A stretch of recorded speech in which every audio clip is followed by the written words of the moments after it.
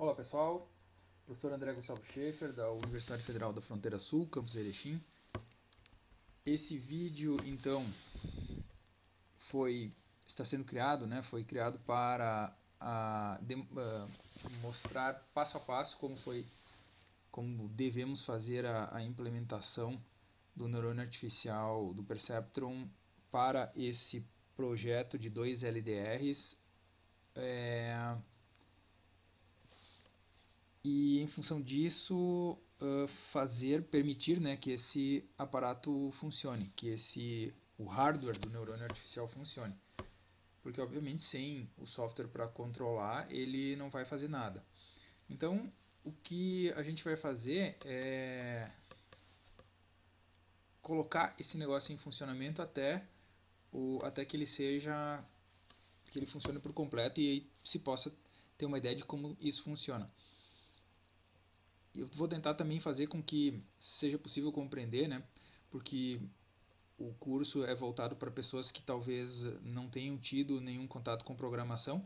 Obviamente, todos os vídeos anteriores dessa playlist devem ter sido, sido vistos, né? Devem ter sido estudados, devem ter sido dúvidas devem ter sido tiradas comigo. Então vocês precisam, claro, uh, prestar bastante atenção nesses, nos vídeos anteriores introdutórios para os conceitos mais básicos de programação.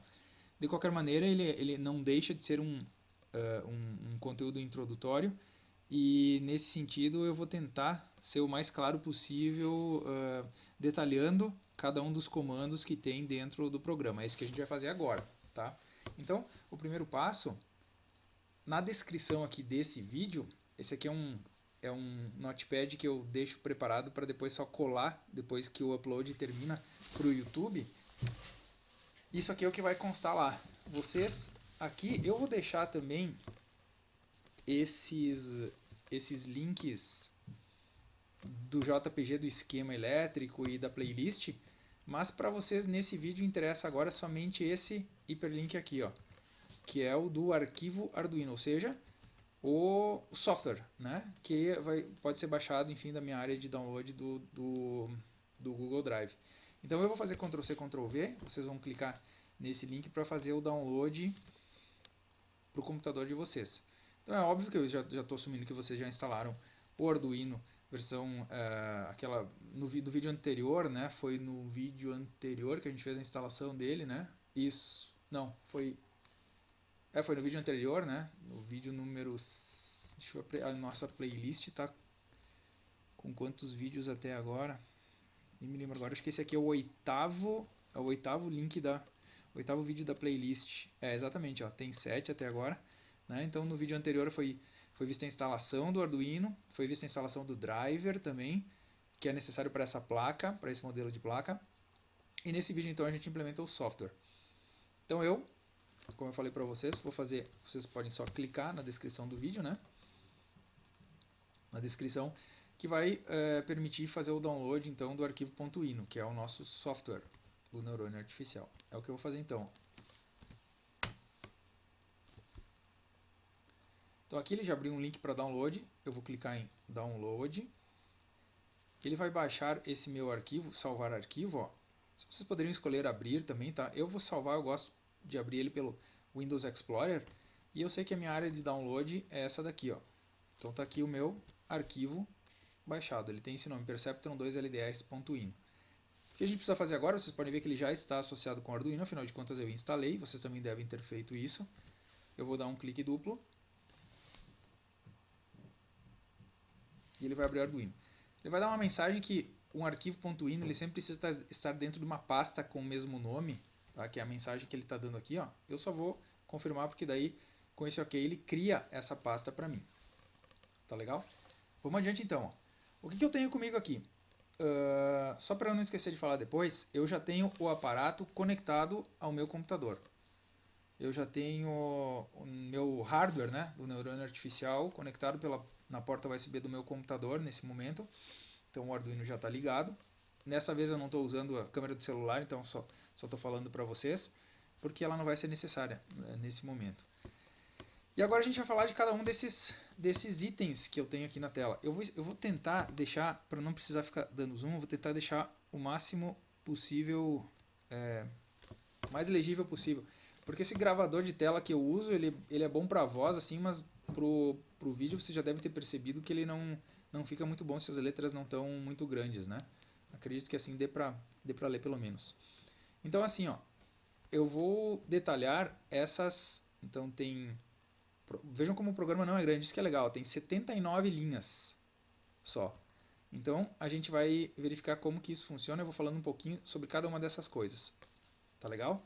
Obviamente, qualquer dúvida vocês podem escrever, podem entrar em contato comigo e a gente tem que fazer funcionar esse nosso, essa nossa versão à distância desse curso, tá legal? Então vamos lá. Primeira coisa, essas informações que tem aqui, ó, elas não seriam necessárias, tá? Eu poderia ter feito de outra forma, sem usá-las. Elas são as chamadas macros. Então, quando a gente, tem, uma diretiva define dentro de um programa, isso aqui também é uma herança da linguagem C, né, sobre a qual o Arduino foi, a linguagem do Arduino foi, foi criada, a gente diz para uh, o compilador, que é quem, quem faz a verificação uh, léxico, sintática e semântica do nosso programa, que a gente vai estar tá fazendo uma, uma espécie de uma conversão, simplesmente para ficar mais fácil para a gente entender. Ou seja, em todos os lugares em que estiver escrito pino LED branco desse meu código das 79 linhas, o pré-processamento da, da fase de compilação vai trocar pelo número 11. Aonde estiver escrito pino LED azul, ele vai trocar pelo número 12. Aonde estiver escrito pino LDR1, vai ser trocado por A5 e assim por diante. Então eu não preciso mais fazer referência ao número 8 aqui embaixo, né, ou ao número 9. Eu posso fazer referência em todo o código a uma coisa que fique mais fácil para eu entender. Por exemplo, botão sim, botão não e assim por diante, certo? Então as macros elas são muito utilizadas porque elas são muito úteis nesse sentido. Então eu fiz questão de falar um pouquinho delas porque o código fica bem mais legível, bem mais fácil de entender quando a gente usa as macros. Né? Por isso elas têm uma utilidade muito grande. Vamos adiante. Vamos lá. As variáveis. Então, é, eu vou mais algumas delas eu vou falar uh, mais detalhadamente agora e outras depois, tá? Então a gente tem bem poucas variáveis, se a gente for ver. Das variáveis inteiras, né, que suportam valores inteiros. Então eu tenho uma variável i. Aqui eu já coloquei um comentário. Cabe mencionar, não sei se eu falei nos vídeos introdutórios de programação dessa playlist, que quando nós temos dois, duas barrinhas de divisão, né, imediatamente após essas barrinhas de divisão, toda a linha será ignorada pelo compilador. Então eu posso escrever o que eu quiser. Aqui, ó, que ele não vai entender como um comando, como uma função, ou seja lá o que for. Então a gente chama isso de comentário do código, que serve para orientar a pessoa que está lendo o código para que ela entenda o que está sendo feito. Né? Então eu, eu, escrevi aqui uma mensagem para nós, né, que diz o seguinte: ó, variáveis numéricas possuem no Arduino valor zero logo que declaradas. Ok? Em outras palavras, é o seguinte: essa minha variável i, que vai guardar valores inteiros, né? Olha aqui, ó, eu coloquei uma descrição sobre ela. Ó. Ela é usada nos laços de repetição. Então, todos os laços de repetição aqui que utilizam essa variável i, ela vai, vai servir para gerenciar o laço de repetição. Então, por padrão, o Arduino atribui o valor zero para a variável. Algumas linguagens de programação fazem isso automaticamente, atribuição de valor zero para a variável. Outras não. Certo? Então, quem usa uma linguagem de programação que não atribui zero para uma variável tem que, tem que se preocupar com isso também. Tá? O Arduino não, ele sempre atribui o valor zero. Outra variável, o contador, que eu chamei de cont, variável cont, ela é usada para contabilizar o número de iterações, ou seja, repetições até que o neurônio, aqui entre aspas, aprenda. Né? Então nada mais é do que um, um contador que vai dizer assim, olha, é, número de vezes já que a gente deu feedback para ele, para ele tentar aprender o que, que a gente está querendo que ele faça, é, foi 10, foi 11, foi 12, foi 13, certo? Nosso erro é uma variável que assumirá valor positivo, ou seja, 1 ou menos 1, para empurrar, vamos dizer assim, né, o resultado ora para baixo, ora para cima.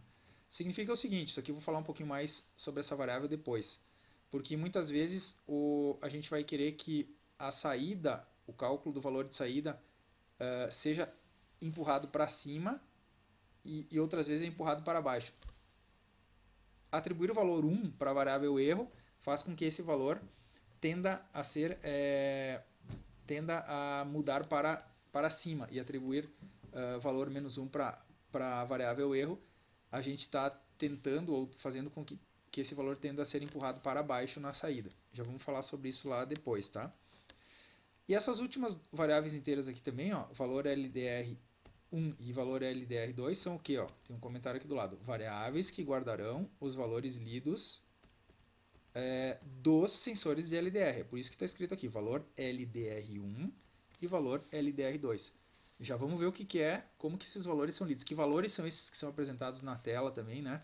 Uh, em função da leitura de quanta luminosidade que tem no LDR.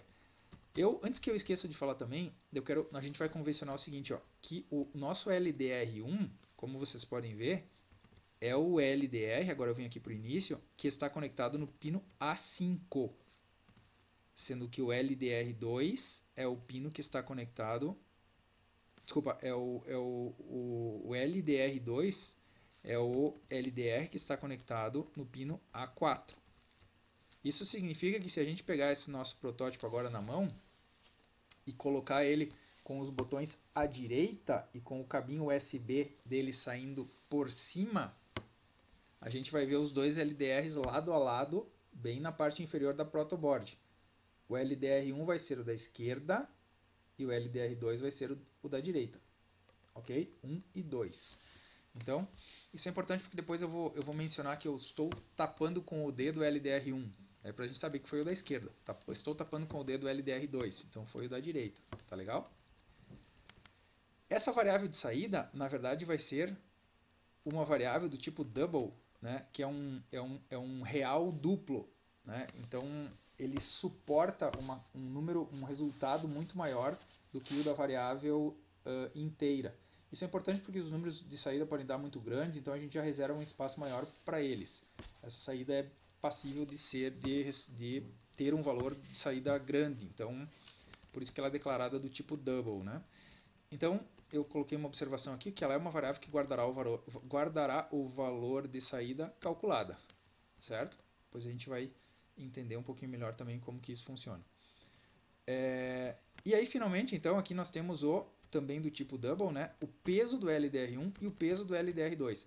Isso daqui, no cálculo matemático, que é extremamente simples que vai ser utilizado, nada mais é do que o aprendizado em si. Então, ele vai aprender o seguinte, ó, se a gente queria que o LED azul acendesse quando fosse tapado o sensor de luminosidade número 1, a gente vai ver depois que o peso dele vai ficar uh, significativamente maior, positivo e maior do que o peso do número 2.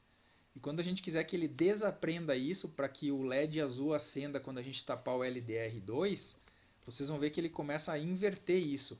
Que o peso do LDR2, que vamos supor, se fosse negativo, ele começa a passar para positivo. Enquanto ele está fazendo o aprendizado. Então isso é bem interessante, porque isso vai, vai estar tá aparecendo na tela, a gente vai, vai conseguir constatar como é que isso funciona. E aqui, ó, variáveis que guardarão os pesos calculados. Sim, foi essa a observação, né? E a última, então, delas, a taxa de aprendizado.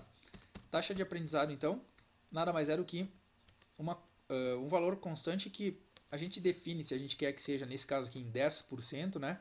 O quão rápido esses números dos pesos vão mudar, seja para um número positivo, seja para um número negativo. Se a gente deixar um valor muito pequeno aqui na taxa de aprendizado, uh, os números vão mudar com uma velocidade menor. Então ele é, isso é útil em alguns casos, em outros casos não. Então, às vezes vale a pena deixar um valor alto, às vezes vale a pena deixar um valor baixo. Isso aqui é um, é um parâmetro bastante customizável. Uh, uh, não existe um valor correto para isso, né? Então, no nosso caso, se deixássemos eh, uma taxa de aprendizado de 50%, de 10%, né, ou mesmo um valor menor, ele funcionaria também, tá? Às vezes um pouquinho mais rápido para o aprendizado acontecer, às vezes um pouquinho mais lentamente, certo? Chamada taxa de aprendizado. Legal, variáveis são só essas. A função setup, lembrando que quando a gente cria um programa novo, nós temos a função setup de configuração, isso eu já falei né, nos vídeos anteriores, e a função looping, que é todos, todo o conteúdo, todos os comandos que ficam repetindo. No caso da função setup, a função de configuração, que é executada somente uma vez, nesse nosso caso, há pelo menos três coisas importantes a serem feitas. Né? A, o comando, vamos dizer assim, a função serialBegin 9600 para que a gente possa exibir mensagens nessa tela da própria console do Arduino. Sem isso aqui não seria possível fazer a exibição dessas, dessas uh, mensagens, tá? Ou seja, a gente não conseguiria verificar o valor lido pelo LDR, pelo sensor de luminosidade, caso a gente não, não, não nos fosse permitido escrever na console, já vamos mostrar depois então, né?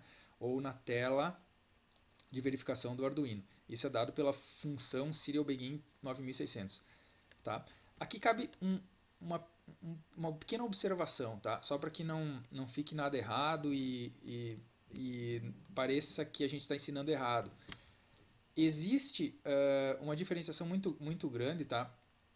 Nesse caso aqui, ó, nós teríamos, por exemplo, uh, falando em termos de computação, a classe serial, certo? E aqui nós teríamos então uma função é, begin, certo? E um parâmetro para essa função begin. No entanto, como o propósito desse vídeo e desse conteúdo, desse curso, né, é tentar fazer a aproximação mais simples possível com uh, professores da educação básica que não tenham tido ou que tenham tido pouco contato com programação, não cabe muito a gente entrar em detalhes de como funcionam, por exemplo, a diferenciação entre funções e métodos né, dentro de uma, de, de uma determinada classe, né, a diferenciação entre paradigmas de linguagens de programação. Né? Então eu me reservei o direito de, uh, vamos dizer assim, chamar isso daqui, né, que está, vamos dizer assim, uh, descrito aqui na tela como uma função. Uma função ou um comando. Comando serial begin ou função serial begin, né? Sem fazer assim, sem ter o trabalho de diferenciar a conceituação correta, que seria, né, a função begin da classe serial, né? Ou ainda o método tal dentro da classe tal, certo? O mesmo aconteceria aqui embaixo. Ó. Então a gente vai, vai falar comando pin mode ou função pin mode, certo? de configuração dizendo que o pino aonde está conectado o botão SIM é um pino de entrada. Então esses são os parâmetros da função pinMode, certo?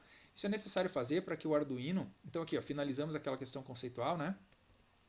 E então falamos sobre o Serial Begin e pinMode, então é necessário que a gente configure para dizer para o Arduino que lá na porta digital 8 e 9, né, que correspondem à leitura do valor, leitura do botão sim se ele está pressionado ou não, e leitura do botão não se ele está pressionado ou não, nós teríamos uma entrada de informação. O contrário disso seria uma output, uma saída. Nesse nosso caso é uma entrada, nós estamos entrando informação para a placa. Isso é necessário para que é, seja possível usar aquelas portas digitais como entrada de informação. Tá? Então é o modo de funcionamento do pino. Certo? Vamos adiante. Então aqui, ó, na função looping, né? Eu, eu, sempre digo looping, mas se escreve loop, né? Mais fácil falar looping. Na função looping são todos os comandos que são repetidos constante e continuamente. Na verdade, então nós temos tudo o que está da linha 26, que é uma linha em branco, na verdade, né? Até a linha 79 78, porque na verdade na 79 nós temos o fecha chaves, que corresponde ao fim da função looping. Né? Tudo que está entre, que está da linha, deixa eu pegar, aqui eu perdi. Tudo que está da linha, então nesse caso 27 até a linha 78, ficará em constante repetição. Ok? quando fizermos a carga ou quando ligarmos a placa, ele passa a executar tudo que está nesse intervalo. Ela só para a sua execução quando essa placa é desligada. Então, é, vamos lá. Primeiros comandos então que a gente tem aqui, ó. nós temos uma escrita digital no pino LED azul, colocando-o em low. O que significa isso? significa que ele desliga ou apaga o LED azul e desliga ou apaga o LED branco. Por que, que isso é feito? Não, porque como isso aqui sempre vai, ser, vai estar repetindo, não interessa o estado que o LED branco ou azul ficaram antes, se era para ele deixar, se ele ligou o LED azul, se ele ligou o LED branco, não me interessa. Eu sempre vou desligá-lo ao início do looping. Então é claro que na primeira vez eles já estarão desligados, mas depois não interessa qual deles ficou ligado, dependendo dos cálculos, dependendo do que, que a pessoa quis fazer, eles serão desligados. É isso que está sendo dito aqui. Aqui eu tenho, só por uma questão de layout, a escrita, então aqui a gente vai chamar de função, né? Função serial print ln, que é a escrita de uma linha em branco. Como eu, eu não tenho parâmetros para a função serial print ln, então eu tenho simplesmente uma, uma, uma escrita de uma linha em branco que uh, é acompanhada de uma, vamos dizer assim, de um enter, né? Ou seja, não interessa o que estava escrito na tela, o cursor vai ser levado para a linha de baixo e início da próxima linha. Em informática a gente chama isso de line feed carriage return, né? Ou seja, o cursor vai para a linha de baixo e também vai para o início da próxima linha. Isso é dado pela função serialprint ln. Quando eu não tenho o ln, como é o caso da função serial.print aqui embaixo, o cursor simplesmente escreve aquilo que precisa, que precisa ser uh, escrito na tela. Né? Aqui é uma mensagem de texto qualquer, entre aspas, eu escolho qual mensagem que eu quero exibir na tela. E mantém o cursor ali ao lado. Ok? Enquanto que se, se a gente usa o ln, ele já vai para o início da próxima linha. Só essa coisa. Então, na verdade, aqui eu estou escrevendo uma mensagem na tela que diz assim, ó, escolha agora um dos sensores de luminosidade. Ou seja, é uma informação que eu estou dizendo para o usuário, para ele. Ele deve tapar o LDR1 com o dedo ou tapar o LDR2 com o dedo. Ou nenhum deles, ou os dois, né? Como queira. Logo depois dessa mensagem, para dar tempo que a pessoa leia a mensagem e, e, e faça né, o que ela deseja fazer, eu paro o processamento da placa Arduino com a função delay por 3.000 milissegundos, que correspondem a 3 segundos. Esse, todos esses valores dos parâmetros de qualquer função podem ser mudados. Certo? 3 segundos é suficiente para a gente ler a mensagem e tal, não é muito demorado nem muito nem pouco tempo. Logo em seguida, o que, que é feito? É registrado para dentro, né, é atribuído para dentro da variável valor LDR1 e para valor LDR2 o que? A leitura analógica do pino LDR1. Nesse caso, jogando o valor para dentro da variável valor LDR1. E, e imediatamente do pino LDR2 jogando para dentro da variável valor LDR2. Então, nesse, a, a, leitura do valor, a leitura da luminosidade, vamos dizer assim, né? Que vai ser convertida para um valor entre 0 e 1023. Por que entre 0 e 1023? Se a gente for ver, é o intervalo da digitalização, vamos dizer assim, desse valor lido do mundo real, que é convertido para um valor uh, uh, no sistema binário de numeração, porque a placa trabalha com 10 bits. Então, 2 na 10 é igual a 1024, corresponde aos 1024 valores que eu posso dar para uh, o intervalo de 0 a, 1000 e, a 1023. Então aqui vai depender, vocês vão ver que na verdade depois, quanto mais escuro estiver o sensor, mais alto, mais próximo de 1023 esse valor será. Quanto mais claro, se a gente colocar esse sensor direto uh, sob sol forte, por exemplo, né, iluminação do sol, uma lanterna daquelas bem forte, ele vai dar um valor bem baixo. É a forma como o, o LDR se comporta, certo? Esse valor, todas as vezes, cada vez a cada ciclo, é registrado e guardado dentro dessa variável. Valor LDR1 e valor LDR2. Então aqui embaixo eu já dou uma mensagem. Logo depois que isso aconteceu, não interessa quais foram os valores que foram lidos, eu dou uma mensagem na tela. Os valores foram lidos. Só para a gente saber que acabou de ser feita uma leitura. E olha o que é feito logo em seguida, então. O cálculo do valor de saída. Isso aqui ó, é que uh, nos interessa. Para vocês terem uma ideia, nós teremos uma, uma aula só para a gente falar sobre o cálculo do valor de saída, que é essa função que está uh, colocada aqui. A gente vai ver que isso aqui é uma função matemática, se a gente for ver, né? uh, e que pode ser aplicada em outros contextos, né, uma tentativa de matematização, é, sei lá, do, dos, dos, dos, fatos, dos processos, dos acontecimentos do nosso mundo real, né, do nosso mundo concreto, para uma função, uma equação matemática, uh, de modo que a gente possa matematizar aquilo.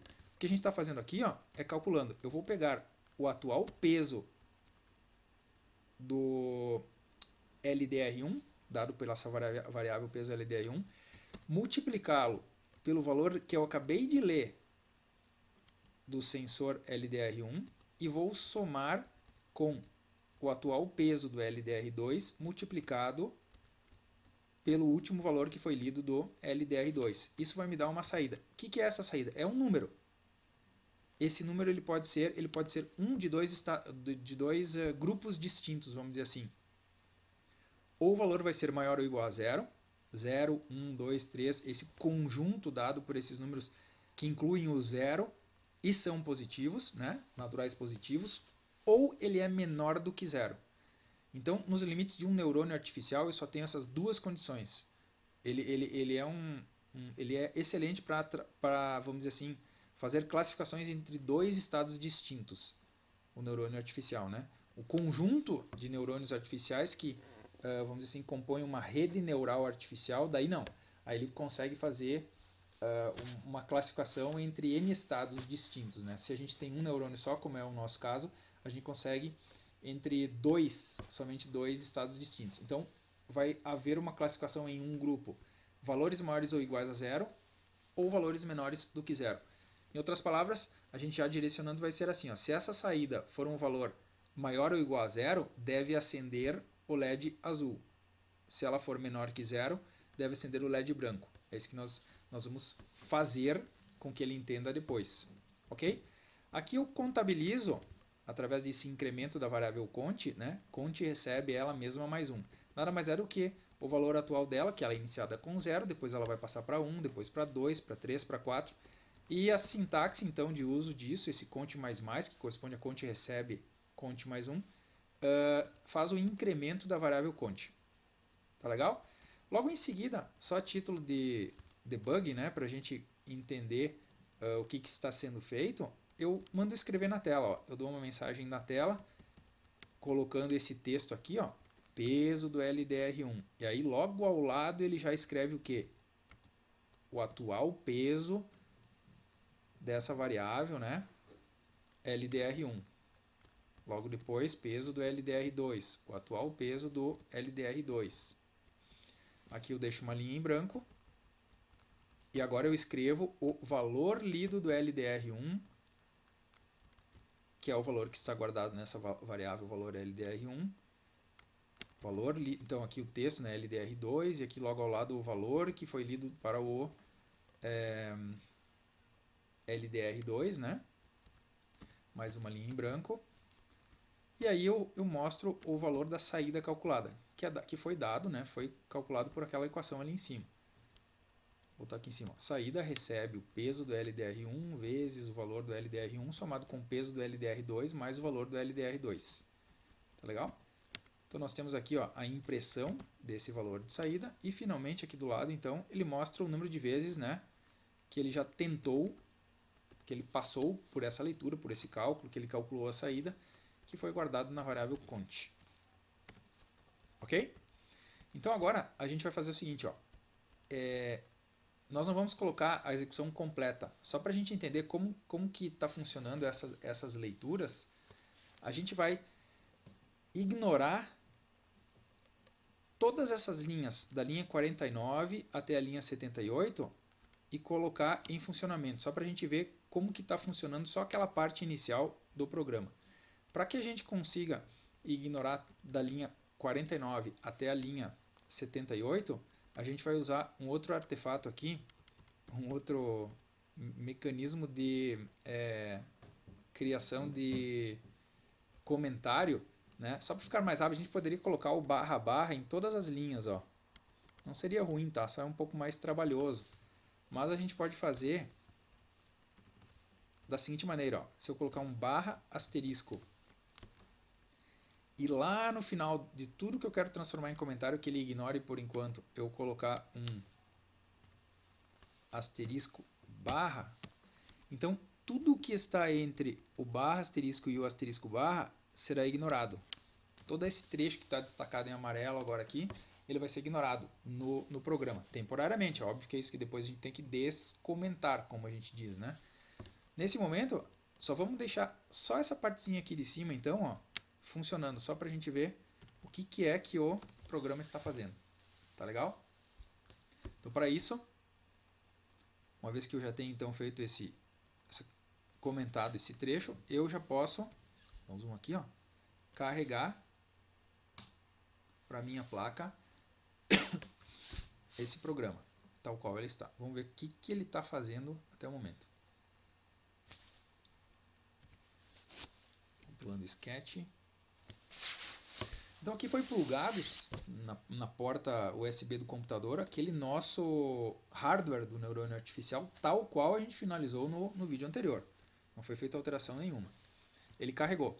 Uma vez que ele tenha carregado, ó, eu vou ir para o monitor serial, que é aquele que me permite, ó, esse íconezinho no cantinho superior direito da interface, me permite abrir o monitor serial. Sempre que eu clico no monitor serial, a placa é resetada, o programa começa como se ela fosse ligada de novo. Então, quando eu cliquei aqui, ó, eu tenho a placa é, reinicializada. Então, veja que o programa já está em funcionamento. Ó.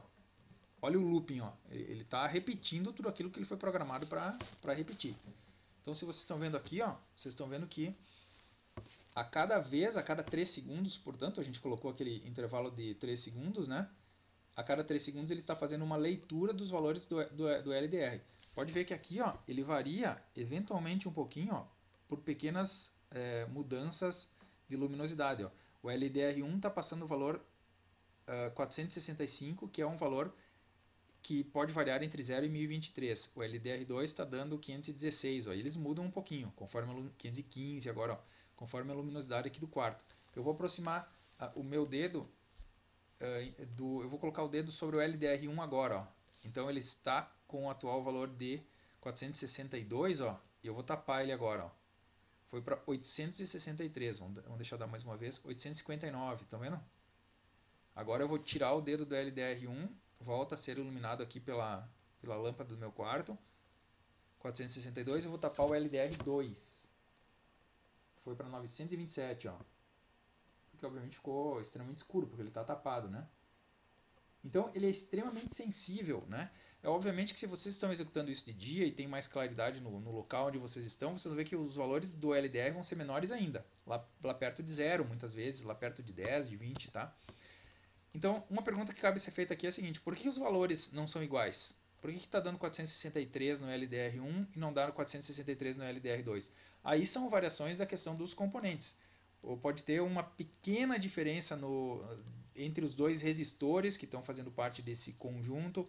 Pode ter uma, uma pequena diferença na composição dos LDRs, né? Então esse ajuste, se a gente precisasse que eles fossem idênticos, teria que ser feito matematicamente. Eu teria que reduzir, né? Ou aumentar, enfim, proporcionalmente ou, ou uh, através de um número, é, é isso daqui. Para que ficasse iguais. No nosso caso, isso, isso, é, isso é irrelevante, tá? Não, não tem muito, muito problema não que eles fiquem com essa pequena diferença até, não, não é tão grande. Ok? Beleza, eu vou finalizar então aqui, ó. Vou fechar no x o monitor serial para que eu possa voltar aqui para o programa. Ok? Uma vez que temos isso, já podemos fazer então a verificação do resto do código. Eu vou descomentar, então eu tirei o barra asterisco e vou vir aqui embaixo também apagar o asterisco barra. Ok? Então, voltando aqui para cima, ó. o que, que, eu faço imediatamente após, ó, iniciando na linha 49? Eu vou fazer um teste. Se a saída for maior ou igual a, ou igual a zero, que foi essa saída que foi calculada aqui em cima, se ela foi maior ou igual a zero, o que, que significa? Se aqui eu coloquei um comentário. Ó, se a saída for maior ou igual a zero,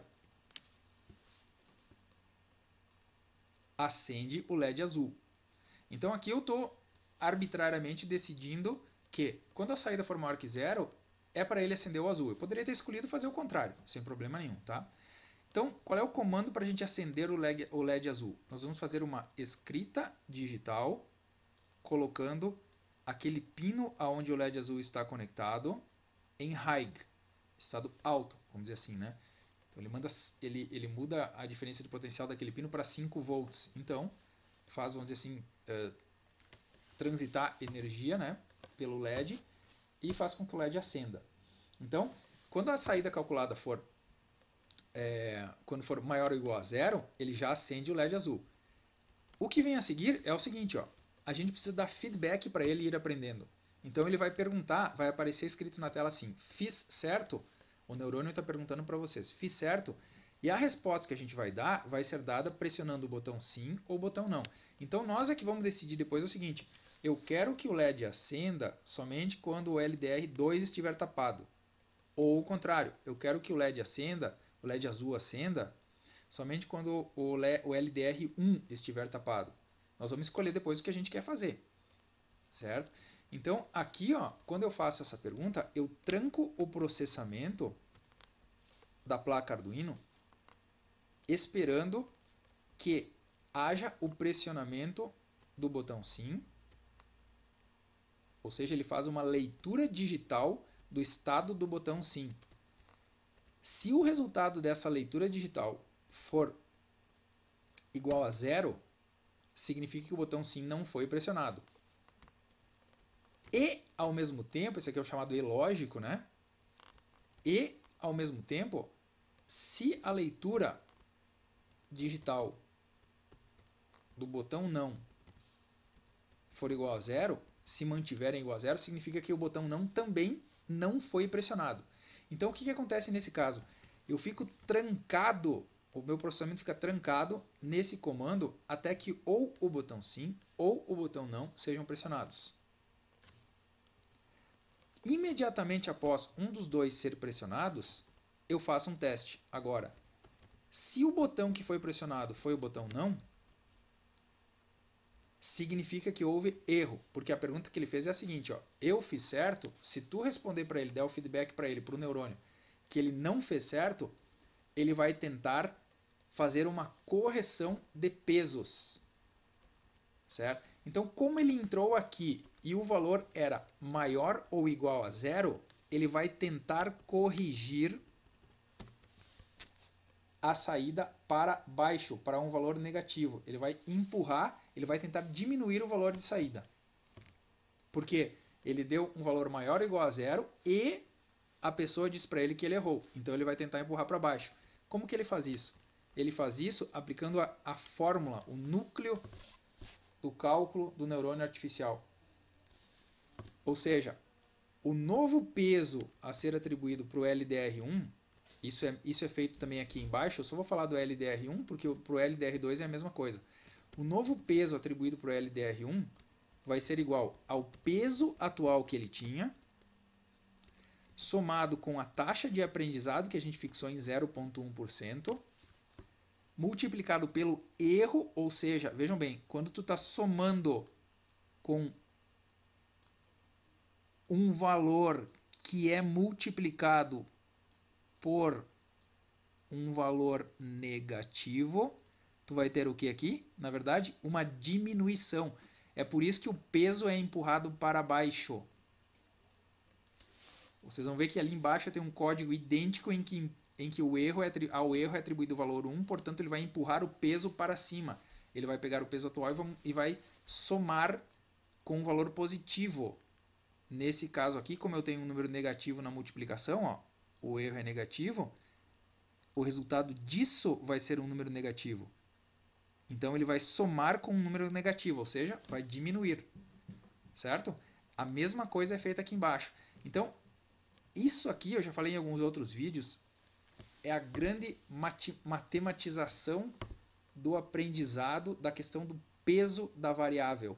É a coisa mais curiosa que eu vejo no, no conceito do perceptron, do neurônio artificial. Aqui a gente não está incluindo uma coisa que no, na teoria é, básica chamada de bias, né? O, ou seja, o viés, ou seja, se você quer fazer um ajuste por um valor constante para para o teu aprendizado ficar um pouquinho mais preciso, tu poderia usar o bias. No nosso caso, a gente nem está usando para não ter um conceito a mais para entrar, porque ele já funciona bem assim. Então, isso aqui é o que, tem de, que eu vejo que tem de mais legal, é a correção do erro mais curioso assim, né? Ou seja, eu sempre tenho que levar em conta o atual peso que me causou aquele erro, uma taxa de aprendizado, que é a velocidade com que eu vou aprender, o erro, que pode ser um, um, vamos assim, um empurrar o número para cima ou empurrar o número para baixo, empurrar a correção para cima ou a correção para baixo, e o valor atual que me levou a aquele erro. O valor atual de leitura, nesse caso do LDR, né, que me levou ao erro. Ok? Já está terminando, ó. Então aqui a gente tratou daquela opção. Fez certo? Ele não fez certo quando ele jogou o valor, quando o valor de saída foi positivo. O que eu preciso ver agora é como se trata, é a mesma coisa na verdade, quando ele não fez certo e o valor era e o valor de saída era menor do que zero. Portanto, se ele entrar nesse código de processamento, a gente tem um, uma condição senão, né? Ou ele faz tudo isso aqui de cima, ou ele faz tudo isso aqui de baixo. Ou seja, se o valor for maior ou igual a zero, ele executa o código acima. Se o valor for menor que zero no cálculo de saída, ele vai cair nesse trecho do código. É a mesma coisa. Não se confundam agora, tá? Se a saída for menor do que zero, calculada lá em cima, ele vai ligar o pino branco. E aí a gente vai ter que dizer a mesma coisa. Se ele ligou o pino branco, a gente vai ter que dizer a mesma coisa. Ele fez certo ou ele fez errado agora por ter ligado, desculpa, o pino, o LED branco, né? Então ele vai perguntar de novo. Ligou o branco, ligou o azul, ele vai perguntar. Fiz certo? Sim ou não? Mesma coisa, tranco o processamento esperando que algum dos botões seja pressionado e pergunto. Ligou o LED branco. Se o botão pressionado foi o botão não, é porque houve erro. Não houve acerto, né? Ele pergunta, fiz certo? A gente diz, não, não fez certo, portanto ele errou. Agora, como o valor calculado da saída foi menor que zero e eu preciso que haja um ajuste nessa questão de erro, eu vou empurrar o erro para que o peso seja empurrado para cima. Portanto, o valor de erro é positivo. Se o valor de erro é positivo, 0.1, que é a nossa, nossa taxa de aprendizado, multiplicada por erro, que é 1, mais o valor de leitura do, RD, do LDR, que é sempre o valor entre 0 e 1023, vai resultar num valor positivo para isso que está, para essas multiplicações que estão destacadas em amarelo. Um valor positivo somado com o atual valor de peso do LDR1 vai fazer com que esse peso aumente. Ok? Aumente, ou seja, aumente, tenda a ir para cima de zero e não para baixo de zero. Ou seja, tenda a virar, a se tornar um número positivo e não um número negativo. A mesmíssima coisa se aplica para o peso do LDR2. fim da lógica do perceptron. Vamos ver como é que isso funciona? Eu sei que precisaria um espaço aqui para a gente refletir um pouquinho mais. Né? Uh, quero tranquilizar, porque eu tenho uma, uma atividade depois, eh, eu optei em, em colocar na, nos nossos encontros presenciais, e portanto aqui nos encontros à distância também, eu optei em colocar essa parte de implementação do neurônio artificial por primeiro. Depois a gente vai voltar, uh, vamos dizer assim, e, e, ter uma aula em que esses conceitos são colocados de uma maneira mais ligada, vamos dizer assim, com algum caso real, assim, um caso mais específico, que é a história lá do que eu vou apresentar para vocês no, uh, pelo menos no caso dos, dos, dos, netinhos da vovó lá que, que roubam a cobertura, o chocolate para cobertura de bolo, certo? E vai ficar um pouquinho mais fácil de entender o que está sendo feito aqui, caso vocês ainda não tenham não tenham entendido. Certo? Em outras palavras, eu estou dizendo que depois de vocês assistirem àquele, àquele vídeo, esse conceito né, das atribuições, das mudanças de, de peso, etc., eh, vai ficar um pouquinho mais claro para entender. Vamos executar esse negócio aqui, tal qual está. Então eu vou fazer o que? Carregar para a placa.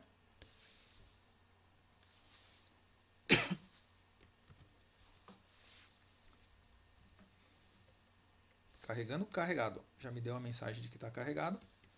Eu vou abrir de novo o monitor serial aqui no canto. Clicar aqui, ele reseta a placa e começa o processamento. Só que agora, só que agora, lembro que antes ele estava fazendo automático as leituras, né? Agora o que, que aconteceu? Como eu descomentei aquela segunda parte, ele entrou naquele código em que ele estava me perguntando, fiz certo e agora ele ficou bloqueado. Ele está trancado esperando que eu responda sim ou não para ele. Né? Então ele me leu o valor 470 para o LDR1, 520 para o LDR2.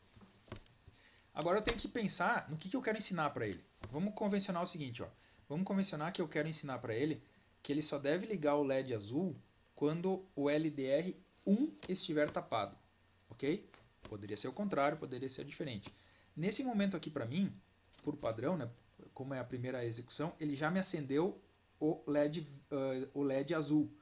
Então, não era isso que ele devia ter feito, porque ele acendeu o LED azul quando os dois LDRs estavam destapados. Eu não tapei nenhum e ele acendeu o LED azul. Portanto, ele fez errado.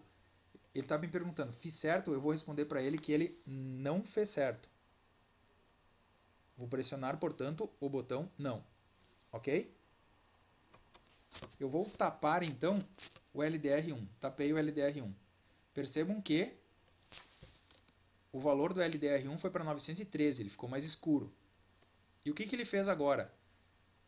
Estou reportando para vocês, vocês não estão vendo, vocês estão constatando ali no próprio uh, instrumento de vocês, né? Ele ligou o LED, uh, o LED branco. A prova disso é que essa saída deu um valor negativo. Na verdade, sempre que a saída der um valor negativo, ele vai ligar o LED branco, certo? Só que eu tapei o, LED, o LDR1. E eu quero que quando o LDR1 esteja tapado, ele me acenda o LED azul. Isso foi o que eu convencionei no início. Portanto, ele fez certo? Não, ele fez errado. Vou sinalizar para ele que ele fez errado também. Ó. Não fez certo. Eu vou pressionar agora o botão não fez certo e vou pressionar, eu vou tapar o LDR2 agora. E agora, será que ele fez certo? Olha como o valor do LDR2 foi, foi, foi para cima, foi para 915. Ele fez certo agora? Ele fez certo. Por quê? Desculpa, ele fez errado. Por quê? Porque eu tapei o LDR2 e ele acendeu o LED azul. Lembrando que a gente convencionou no início que ele deveria acender o LED azul somente quando eu tapasse o LDR1. Vou sinalizar para ele que ele fez errado de novo. Vou pressionar não. Agora eu vou tapar o LDR1. O que, que aconteceu? tapei o LDR1, a prova disso é que o valor do LDR foi para 901, só que a saída calculada foi negativa, portanto ele me acendeu o LED branco, então ele fez errado. Agora cabe observar o seguinte, ó, na medida que eu vou instruindo ele, vocês já, já estão entendendo, olhando os pesos de LDR1 e LDR2, que a tendência do LDR2 tapado é empurrar a saída para baixo. E a tendência do LDR1 tapado é empurrar a saída para cima. Vocês vão ver que agora eu vou dizer que ele fez errado de novo, porque ele fez errado de novo, e o próximo valor do peso de LDR provavelmente já vai ser positivo do LDR1. Ok? Vou dizer para ele então que ele fez errado e vou tapar de novo o LDR1. Poderia ter escolhido outro, tá? Eu vou ensinando ele da forma que eu quiser. Vou dizer que não. Vou tapar o LDR1 de novo. Olha o que, que aconteceu. O resultado já deu positivo porque o peso do LDR1 recalculado foi positivo, 85,7. O LDR2 também foi recalculado, se manteve negativo, menos 40,30. Mas eu já tenho o LED azul aceso ao se tapar o LDR1. Ok? Portanto, agora ele fez certo. Então eu vou dizer que sim, que ele fez certo. Eu vou tapar o LDR2 agora tapei o LDR2, vocês podem ver que ele foi para um valor de 922, né? Uh, como eu disse antes que ele que o valor do LDR uh, como eu disse antes que, que ele, ele acertou pode ver que ele não mudou os pesos agora ó, porque ele só ele só corrige os pesos quando ele erra. Então ele manteve 85.70 e menos 40.30 o que, que aconteceu agora? Eu tapei o LDR2. Só que ele acendeu o LED azul. Não deveria. Quando eu tapo o LDR2, ele tem que acender o LED branco. Fez certo? Não. Ele tem que fazer uma nova correção. Vou clicar em não. Vou clicar não no botão e vou tapar de novo o LDR2. Olha o que aconteceu agora. Tapei o LDR2, houve correção nos pesos. A saída deu negativa, ou seja, está correto porque ele ligou o LED branco. E eu preciso ver agora se, não, se ele já não aprendeu em sete tentativas. O que, que eu vou fazer agora? Eu vou tapar o LDR1 para ver se ele liga o LED azul e vou tapar o LDR2 para ver se ele acende o LED branco, porque ele vai fazer novamente um cálculo de saída com base nesses pesos aqui e vamos ver se está tudo funcionando. Ele fez certo agora? Nesse caso agora ele fez certo. Eu vou dizer que sim, ele fez certo. Vou tapar o LDR1 agora de novo. O que, que aconteceu? Ele ligou o LED branco ao tapar o LDR1. Não é o que eu quero, eu quero que ele, que ele acenda o LED azul. Vou ensinar ele de novo. Vou dizer que ele fez errado. Vou pressionar o botão não. Vou tapar o LDR2 agora. Tapei o LDR2. Ele acendeu o LED branco, fez correto. Vou dizer que sim. Vou tapar o LDR2 de novo, na sequência. Não muda nada. Ele já tinha aprendido isso. Vou dizer que ele fez certo. Vou tapar o, o LDR1. Ele acendeu o LED azul agora fez certo, ó, LDR1, saída positiva, fez certo? Sim, ele fez certo. Vou tapar o LDR2. Olha que interessante, ó. Tapei o LDR2, acendeu o LED branco. Ok? Ele fez correto. Tapei o LDR1. Vamos fazer de novo. Tapei o LDR1. Olha a saída calculada. Acendeu o LED azul. Saída maior ou igual a zero. Quando eu tapei o LDR1. Nesse momento ele já aprendeu. Que será que ele vai fazer quando eu não tapar nenhum dos dois? Vamos ver? Porque se ele, se ele só tem se ele só tem que acender o LED azul quando o LDR1 estiver tapado, vamos ver o que, que ele faz quando eu não tapar nenhum deles. Ele não pode acender o LED azul. Eu vou dizer que agora ele fez certo, vamos ver com nenhum deles tapado nós temos que corrigir esse problema ainda. Com nenhum deles tapado, a saída está dando positiva e ele está acendendo o LED azul. Não pode. Eu quero que ele acenda o LED azul só quando o LDR1 estiver tapado. Tá legal? Vamos ensinando ele para ele. Ó. Vou dizer para ele que ele fez errado. Vou tapar. Vou deixar os dois a descoberto agora também. Calculando negativo. Fez certo agora? Fez. Porque os dois a descoberto tem que acender o LED branco. Saída negativa. Vou dizer para ele que ele fez certo. Vou tapar o LDR1, tem que acender o LED azul. Deu certo? Deu certo. Vou dizer que ele fez certo. Vou tapar o LDR2. Deu certo. Acendeu o LED branco. Vou deixar os dois a descoberto. Sem tapar nenhum dos dois. Saída negativa. Fez certo? Fez certo de novo. Em outras palavras, ele já aprendeu aquilo que a gente estava querendo ensinar para ele. Tá legal?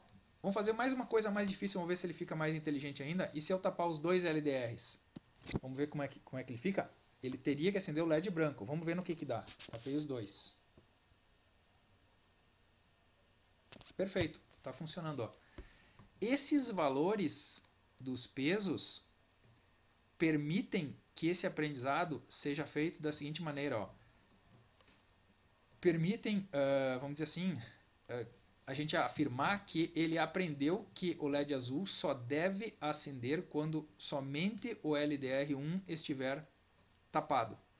Em todas as outras situações, deve acender o LED branco. Em outras palavras, LED LDR1 tapado deve dar valor positivo na saída. Em todas as outras situações, deve dar valor negativo na saída. O mais legal de tudo isso, o que, que a gente pode fazer agora? A gente pode fazer com que ele desaprenda eu quero fazer o contrário. Eu quero ensinar a partir de agora, não iniciando a placa de novo, a partir de agora que tapando o LDR2 é que deve acender o LED azul. O contrário, né? Antes era o 1.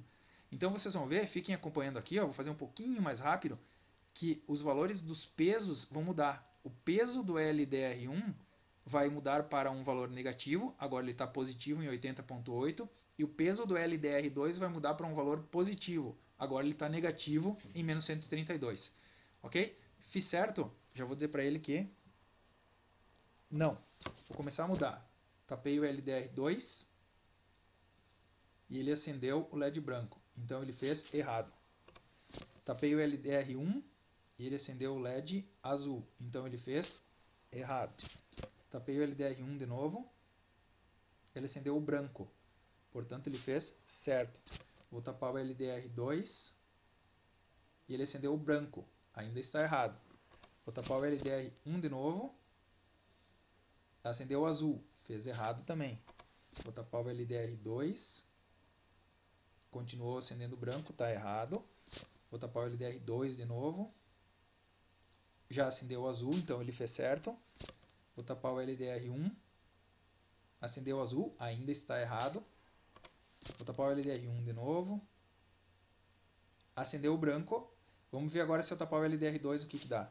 Vou dizer que ele fez certo. Vou tapar o LDR2. Acendeu o branco. Ainda está errado. Tem que fazer essa correção. Vou dizer que ele errou. Vou tapar o LDR1. Acendeu o azul. Se perdeu um pouco, né? Vou dizer que está errado. Vou tapar o LDR1 de novo. Acendeu o branco. Vamos ver se ele já entendeu agora, então. Fez certo. Vou tapar o LDR2. Ainda não. Ó. Continua acendendo branco. Vou dizer que ele fez errado. Vou tapar o LDR2. Acendeu o azul. Já deu positivo. Vou dizer que ele fez certo. Vou tapar o LDR1, então. Continua acendendo azul. Vou corrigir.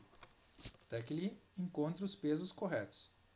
Acendeu o branco, fez certo então. LDR2. Opa, acho que agora ele aprendeu. Tapei o LDR2 agora. Tapei o LDR2 agora acendeu o LED azul. Vou dizer que ele fez certo. Vou tapar o LDR1, tem que acender o LED branco. Isso aí. Perfeito, funcionou. Conforme previsto, ó,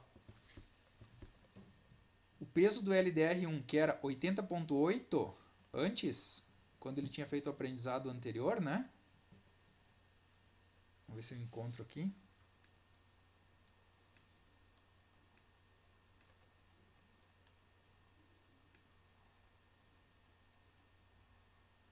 Aqui, ó.